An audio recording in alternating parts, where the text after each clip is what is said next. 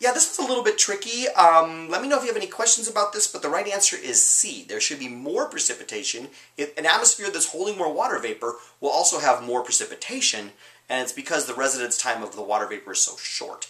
Those all of those water vapor molecules in there, they're not going to be there very long. They're going to convert into liquid water. If there's a lot of water vapor molecules to work with, you're going to have a lot of rain. All right, let's move on now to question five.